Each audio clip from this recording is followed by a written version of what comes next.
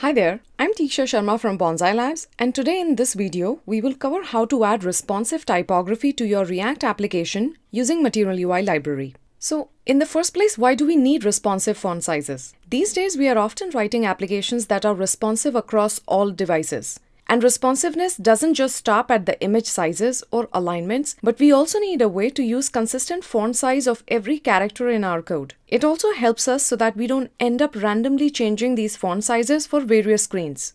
Now let's say we have a React component with the heading our work followed by some text. The heading needs to be an H1 and the text beneath should be subtitle 1. We don't want to change the typography from say H1 to H4 for smaller screen sizes, and we would like to keep it consistent irrespective of what the screen size is. The good news is, if you're using Material UI in your React application, you can definitely take advantage of responsive font size functionality. Let's look at the code for this example. We will try this example in Code Sandbox, so type codesandbox.io in your browser to get to this screen. To create a sandbox, we click Create Sandbox button here, and it should be for React. So let's choose React. This gives an initial boilerplate code that comes with Create React App. Next, we would add an NPM dependency for Material UI. So click on Add Dependency button and type Material UI.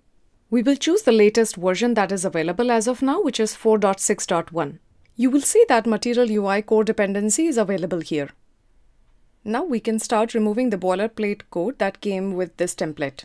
We will remove the h1 tag and h2 tag to start with. Now we start to get some imports from Material UI, including Create MUI theme. It allows you to generate your own custom theme given an options parameter. Next, we also need responsive font sizes, which can automatically update the font size of your typography for every breakpoint. Then we need a theme provider, which is the top level wrapper for all the components in the application. And finally, we need a typography component to display the heading and the text. And all these imports are coming from Material UI core.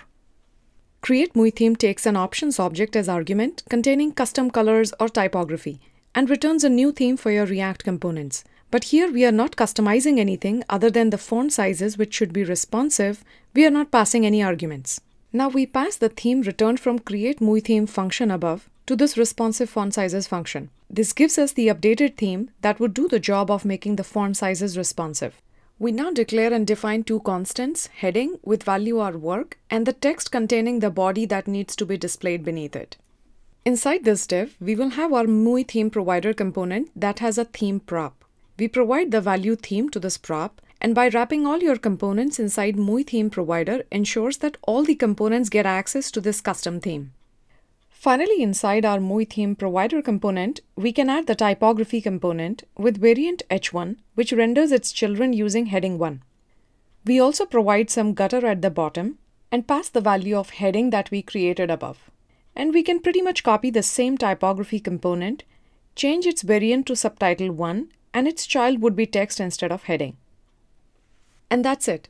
Now you can experiment and test with any breakpoint without having to worry about writing multiple media queries for font sizes, especially when you want to use the same typography variant for all screens. Thanks for watching this video and let us know if there is a specific topic or component in Material UI which is giving you trouble. We can cover that in the future videos.